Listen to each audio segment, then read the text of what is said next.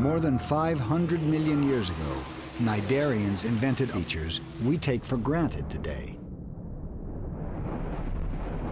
Here was an animal with a mouth. And connected to that mouth, a stomach to digest food. It was a brilliant innovation that would spread throughout the animal kingdom. But Cnidarians brought even greater inventions. These deceptively simple creatures invented movement. The very first animal movements may have looked much like these subtle stirrings.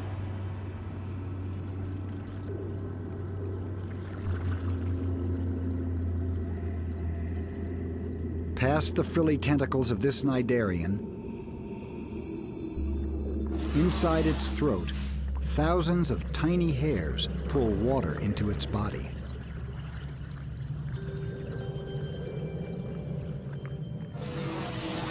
Seen in time-lapse, the animal seems to sprout and grow as water fills its body to create a liquid skeleton.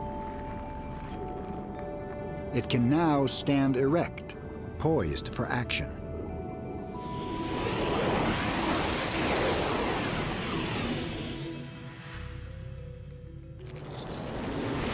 With two sets of muscles, cnidarians can bend in any direction.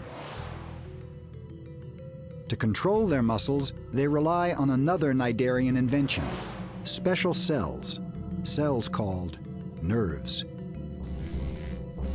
Through a set of these nerves, Electrical impulses trigger one set of muscles to contract, pushing the animal higher.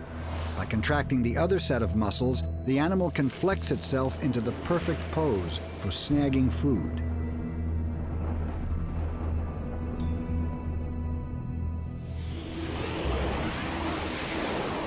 It looks so simple, but all creatures that crawl, soar, or swim today rely on muscle and nerve their ancient inheritance from Cnidarians.